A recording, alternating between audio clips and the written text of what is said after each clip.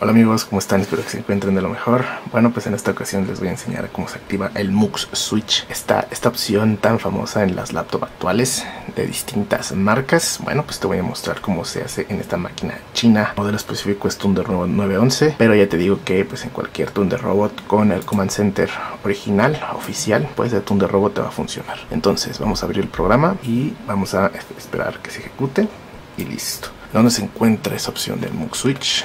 Vamos a ver que se encuentra siempre en el apartado que dice Display Mode. Ahí nos vamos a dirigir y aquí tenemos varias opciones. De fábrica pues tú vas a tener activo el MS Hybrid Mode. Eh, ¿Qué es esto? Bueno pues va a usar tanto la Intel como los gráficos dedicados. En este caso es una RTX 4070. Entonces eh, yo creo que ya sabes lo que significa MUX Switch, si no pues rápidamente te lo explico. Básicamente eh, en la versión común, que es esta, donde están siempre las dos tarjetas gráficas, tanto la del Intel como la de cada. Eh, todo el trabajo que hace la RTX, supongamos que esta es la RTX, supongamos obviamente, em, hace todo el proceso gráfico y se lo manda al Intel. Y del Intel a la pantalla, vamos a suponer que esta es la pantalla monitor. Entonces, en lo que hace es, todos estos procesos se pierden FPS e incluso se calienta un poco más la máquina porque son más procesos. Entonces, las laptops para tratar de igualar esa potencia que tiene una de escritorio o ir un poquito más fluida, ¿qué hicieron? Bueno, pues muchas marcas eh, pusieron su famoso MUX Switch, donde, por ejemplo, este que se llama Discrete Mode. Este es para que funcione 100% con la gráfica dedicada. La externa, pues la RTX 4070. Entonces, si tú la activas, lo que va a hacer es que de la RTX va a mandar el video a la pantalla monitor. Ya no va a pasar por el Intel. Y eso va a hacer que primero vaya un poquito más eh, libre, se caliente menos el procesador, si haga menos cuello de botella. Cuello de botella pasa o no. Eh, depende mucho de los componentes de tu máquina. Por ejemplo, con un i5 a lo mejor pues sí es recomendable. Entonces es una explicación muy básica para que me lo entiendas de cómo funciona el MUX Switch. Si tú quieres activar que funcione solamente de gráfica pantalla o gráfica monitor, vas a irte siempre a la opción que se llama Discrete Mode. Esa es la que estamos viendo acá. Esta es para usar 100% la gráfica eh, externa.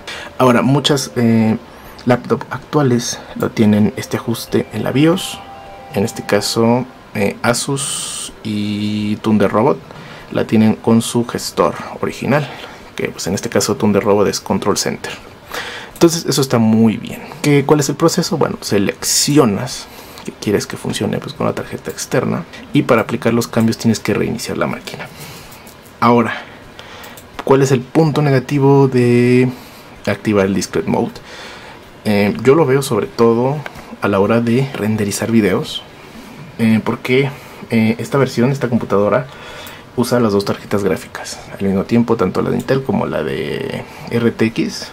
Estoy hablando por lo menos de el Premiere.